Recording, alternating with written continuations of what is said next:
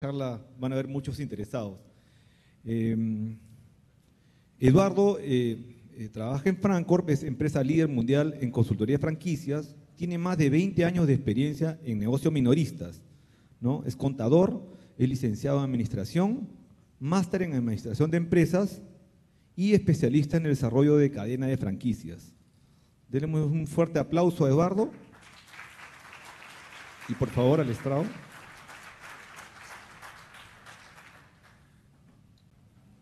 Bueno, eh, voy a empezar la charla de hoy. Eh, como les contó Daniel, nos dedicamos a desarrollar cadenas de franquicias y como no tengo mucho tiempo, voy a tener que comprimir todo lo que quiero mostrarles eh, hoy en día. La primera cuestión es, siempre la, la, gente piensa en franquicias en un local. Dice, franquicias, un local de comida o de ropa. Pero la pregunta es, ¿qué es lo que se puede franquiciar y qué es lo que no se puede franquiciar? Siempre decimos que lo, más conocido o, lo, común son los negocios minoristas, pero también podemos decir que cualquier negocio se puede franquiciar, cualquiera. Y eh, cuando decimos cualquiera, ejemplo, de una población, de un pueblo de 25.000 habitantes, o sea, algo, no estamos hablando de Lima, estamos hablando de una ciudad pequeña, una persona empezó a vender semillas a gente en el campo que cultiva maíz, soja, trigo. Eh, esta persona posteriormente desarrolló una cadena de 100 franquiciados de vendedores que andaban por el campo vendiendo semillas. Después de 5 años, vende 10 millones de dólares al año en semillas y no tiene ningún local, sino que tiene una fuerza de venta franquiciada. Algo así como Avon o, u otros sistemas de venta directo.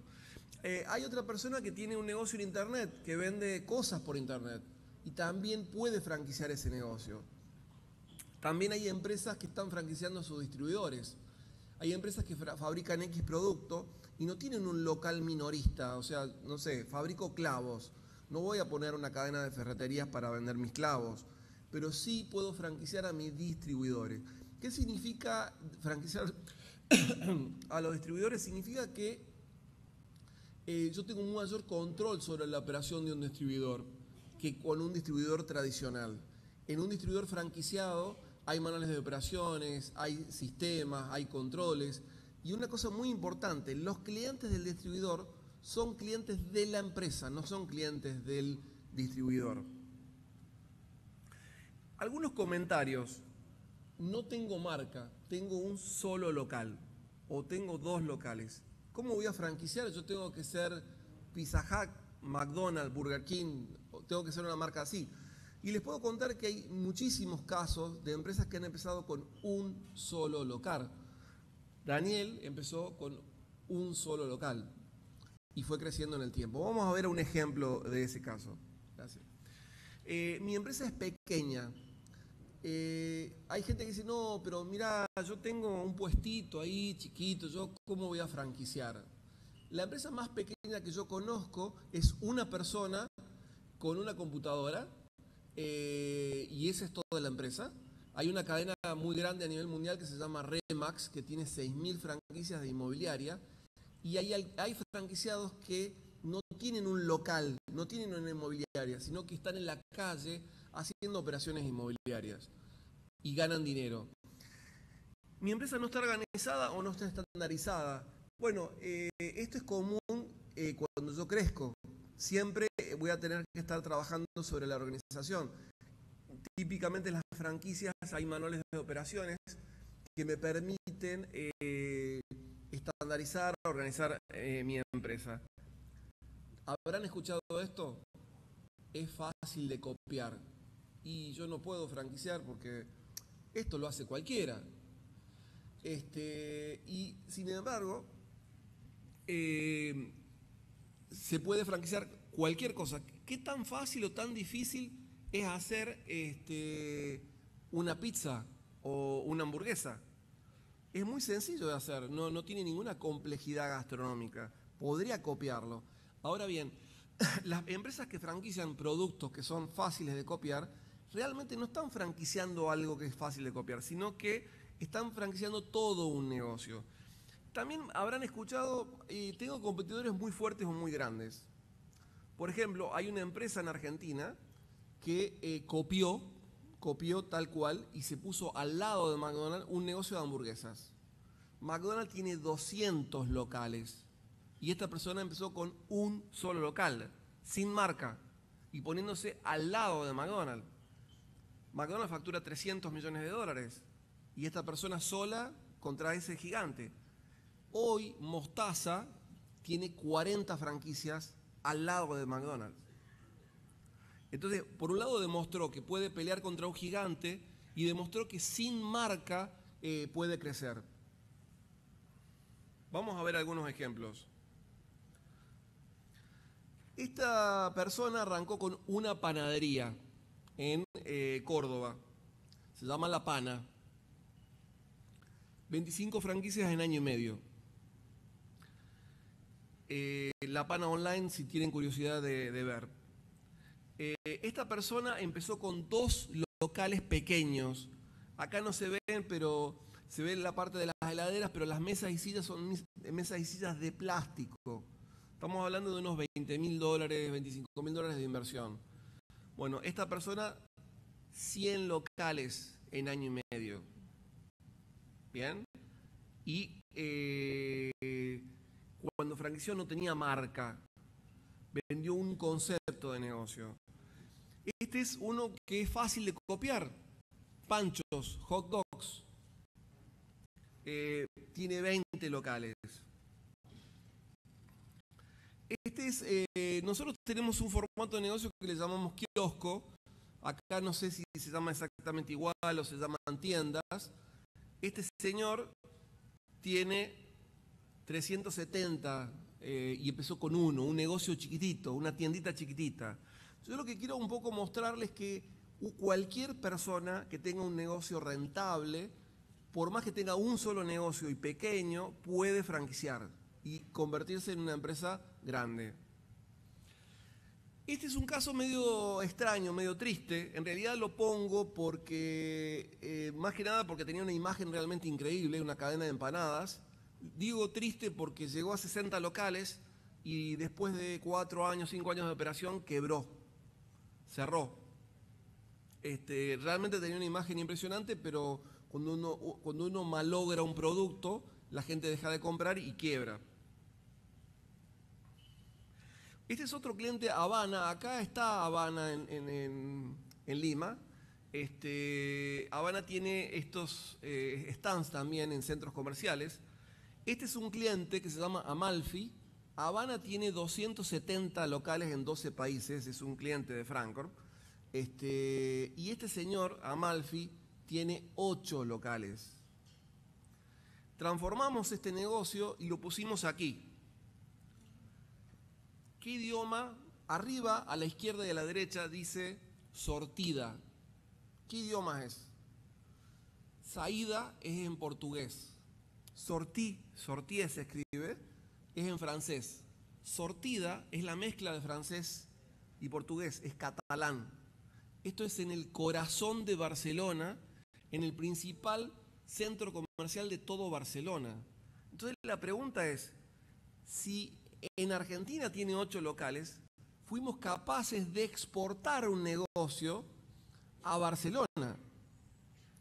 Entonces, lo que quiero decirles es que ustedes pueden tener tres, cuatro, cinco locales y no es una locura decir, eh, me voy a llevar mi negocio a, a Dubái, a Barcelona, a Japón o a donde sea. De hecho, ustedes tienen la virtud de ser una de las mejores gastronomías del mundo. Este, yo créanme, viajo bastante, he aumentado de peso últimamente aquí. Este, pero bueno, hay que hacer un sacrificio de vez en cuando. Este, esta noche tengo libre, si alguien me quiere invitar a comer por aquí, algún negocio de... Este, bueno, la idea es la siguiente, este negocio, 25 mil, 15 eh, mil euros de inversión, más o menos vende unos 25 mil euros al mes, 5 mil euros mensuales de utilidad. Invirtió 15, gana 5 por mes. ¿Qué me importa la marca? ¿No? Eh, ¿Cómo gana dinero una empresa? Una empresa gana dinero cobrando un derecho inicial. El derecho inicial puede ser mil soles, cinco mil soles, cien mil soles, quinientos mil soles. Depende de una serie de variables. Hay eh, regalías, puede ser el 3%, el 5%, el 10%, el 15%. Eh, hay venta de productos, gente que aporta dinero a un fondo de publicidad, dinero que viene de proveedores, eh, ejemplo, Coca-Cola, Bacus y otros. Alquiler o subalquiler se refiere a que, eh, en el caso de McDonald's, por ejemplo, es un negocio inmobiliario. Ellos compran la propiedad y la alquilan al franquiciado y algunos otros servicios.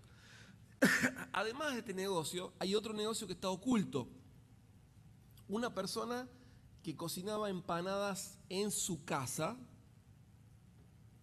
al cuarto año ya tenía 72 franquicias, vendió la empresa en 25 millones de dólares.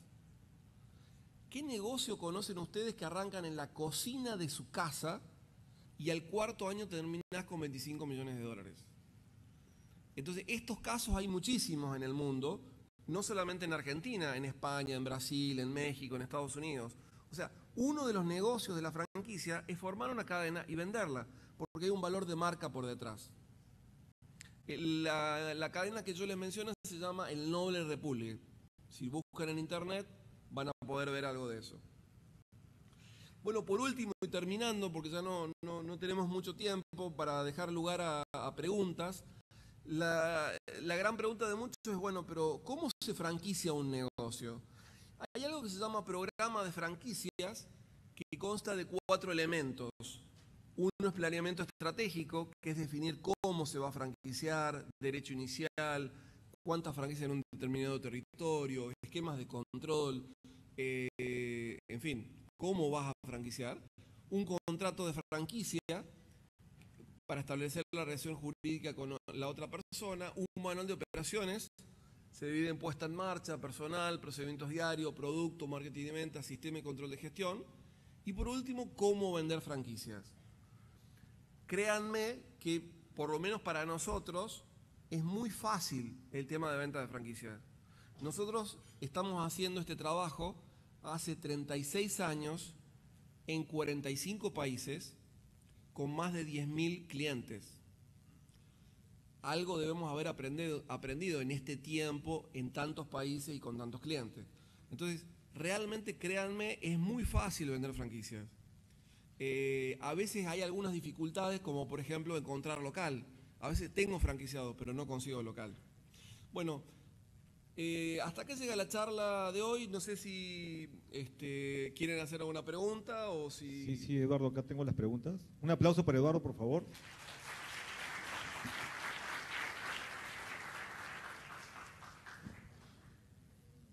Un micro, por favor.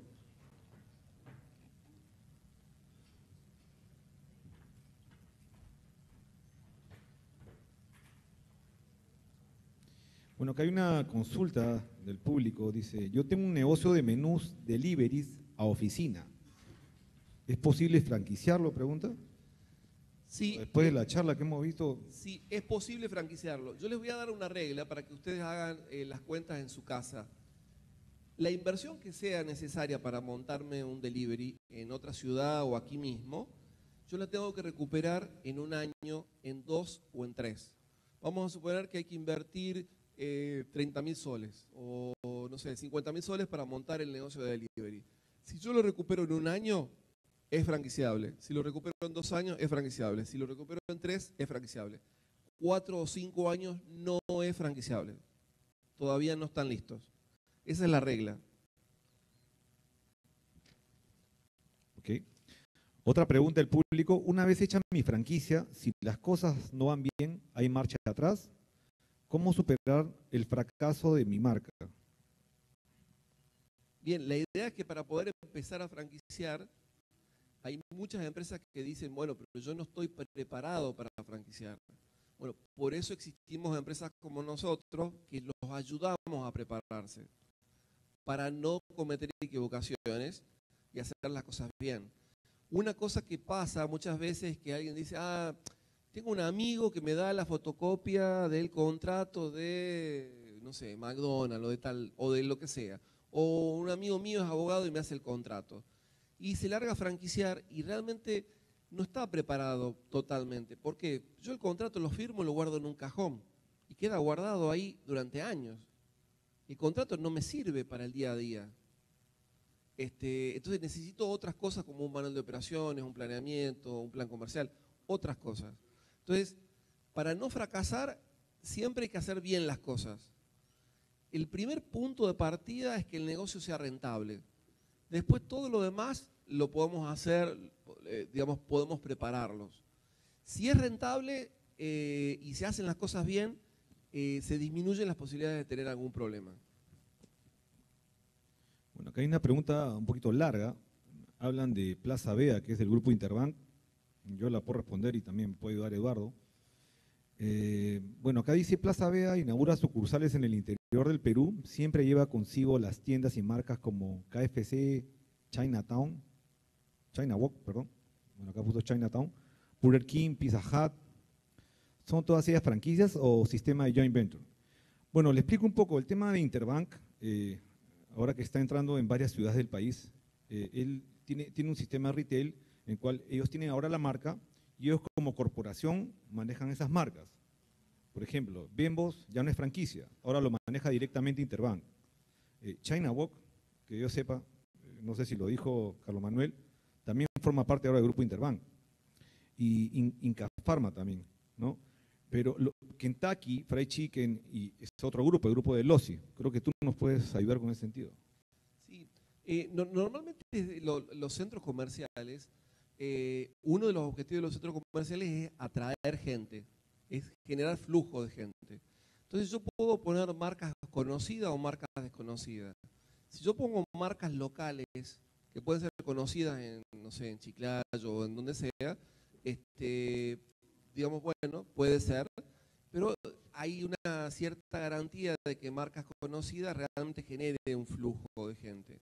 Entonces, en algunos países, eh, los municipios, eso, eso tiene que venir desde el municipio, obligan a estas grandes superficies que el 30% de los locales que se pongan en las grandes superficies tiene que ser de empresas locales.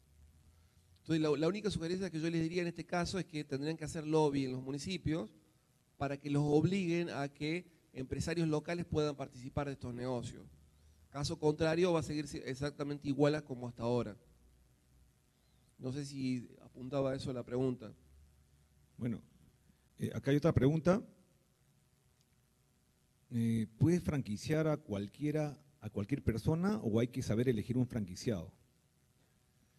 Eh, es muy importante, muy importante saber elegir al franquiciado porque eh, eh, parte del fracaso a veces es, ese.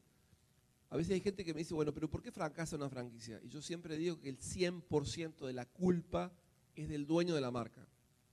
Entonces se quedan así mirando y, pero ¿y por qué? Porque el dueño de la marca elige al candidato, el dueño de la marca lo entrena, el dueño de la marca lo controla. Elegís mal, entrenas mal, controlas mal, sale mal. Entonces hay que elegir bien, hay que entrenar bien y hay que controlar bien y entonces no va a haber ningún problema. Bueno, eh, yo tengo una pregunta. Eh, una vez que elegiste al franquiciado ideal, a la persona ideal, eh, ¿cuál es el segundo paso, por ejemplo, con respecto a la ubicación?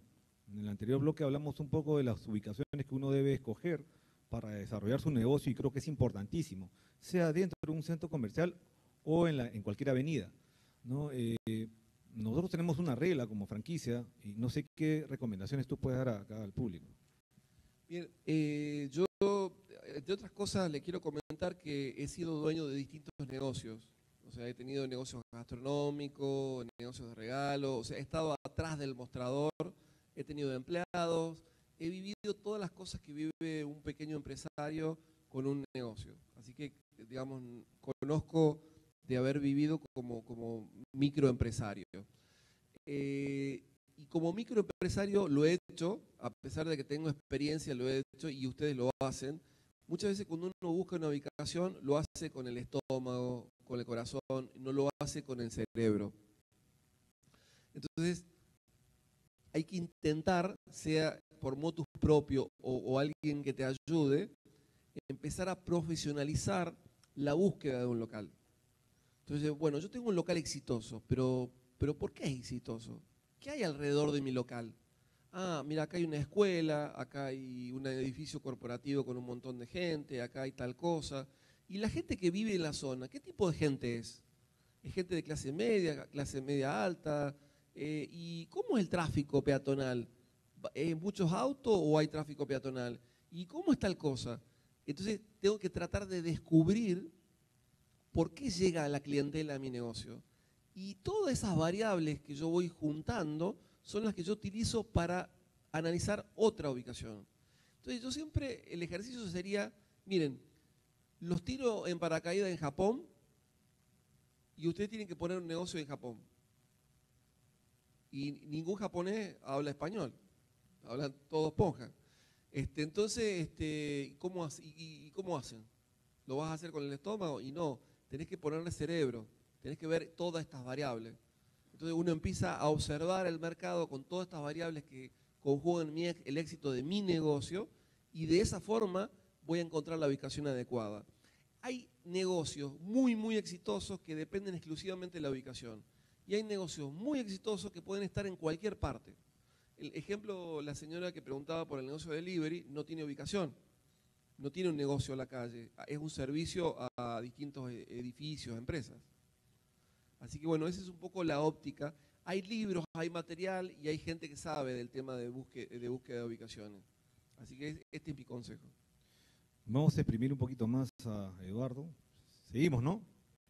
Sí.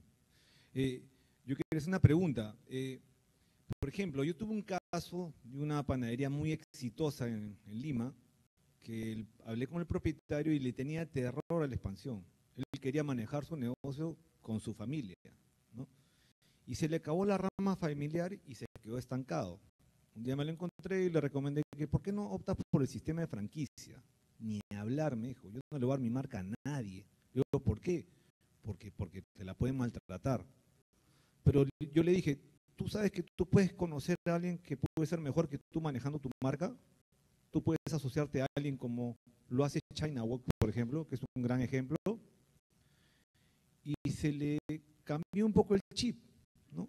Y creo que hasta nos reunimos con Eduardo, no voy a revelar el nombre, y ahora esta persona está explorando el sistema. Es, algo de cambiar un poco el chip y arriesgar. Eh, con respecto al tema de la inversión, por ejemplo, les cuento otra marca peruana que tiene 110 locales y esos 110 locales los maneja toda la familia. Se le acabaron los primos, los, los sobrinos, en fin, de verdad. Y ahora en el local 101 ha decidido franquiciar. Increíble, 101. 111, perdón, porque tenía 100 locales, 110 locales. Entonces, eh, yo creo que la mejor oportunidad es buscar un socio estratégico que sea una persona que domine el rubro en cada uno está, no necesariamente es gastronomía. Por ejemplo, en Perú tenemos el 75% de empresas en la Cámara que son de gastronomía y solamente el 25% de otros rubros, y el que está despegando tremendamente son de centros de estética y de peluquerías. En Brasil y México, que son el ejemplo de toda Latinoamérica, el 35% más se dedican a gastronomía y lo demás son otros rubros. Imagínense, Brasil tiene más de 2.000 franquicias en su cámara. y lo que, lo, que, perdón, lo que quería preguntar era, en el tema financiero, ¿no? Por ejemplo, si yo quiero crecer, ya no tengo dinero, el banco no me, da más, no me, no me acepta ni un crédito más, ¿cuál es la solución? Bueno, la tienes que decir tú como consultor, Eduardo. Claro, bueno, eh, el sistema de franquicias es el único método que no pagas intereses, no devolves capital y encima hay un dueño manejando el negocio. Y yo pregunto, vos tenés 10 locales con 10 encargados o tenés 10 franquiciados. ¿Qué es mejor? ¿10 locales con 10 dueños que pusieron plata y si no funciona le duele su bolsillo? ¿O 10 encargados que ganan un salario? Y evidentemente 10 encargados no van a tener la misma motivación de una persona que puso dinero.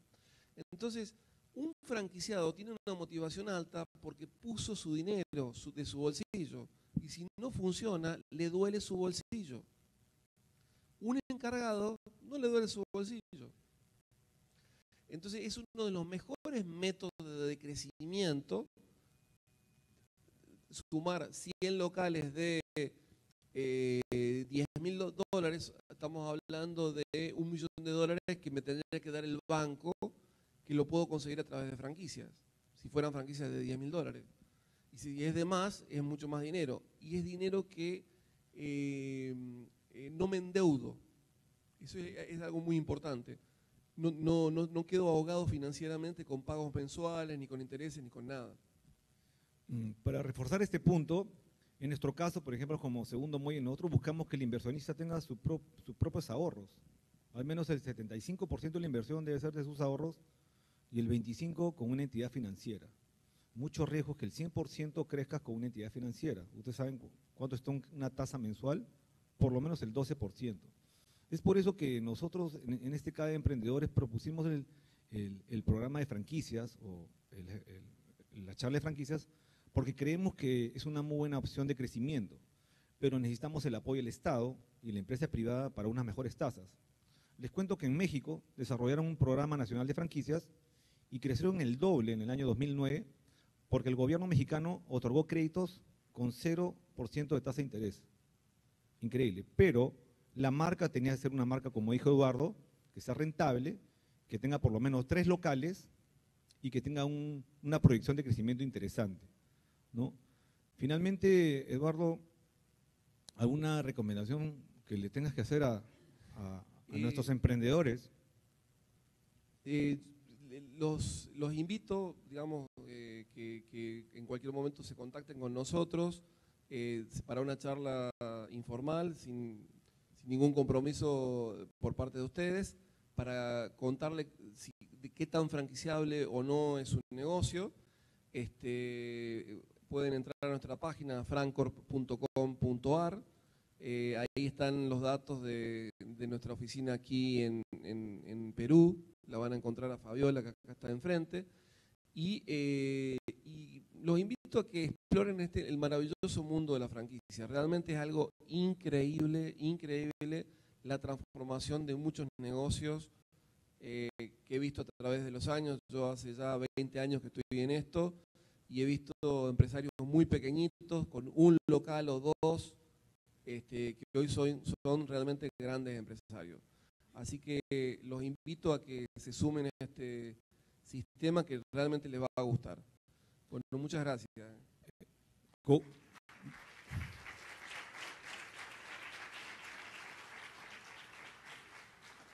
Yo le iba a pedir una condición a Eduardo, que los que ya se conviertan en franquicia que sean socios de la Cámara Peruana de Franquicias, ¿no? Ese es el compromiso. Bueno, muchas gracias a todos, espero que le haya sido útil la charla. Un fuerte aplauso para Eduardo de nuevo. Y nos vemos mañana. Y un aplauso para Daniel también, por favor, que ha conducido la sesión maravillosamente bien. Bien, la jornada de hoy ha terminado. Este, mañana los esperamos con café fresquito a partir de las 8 de la mañana. Las sesiones comienzan a las 9 en punto y tenemos una jornada un poquito más larga que la de hoy.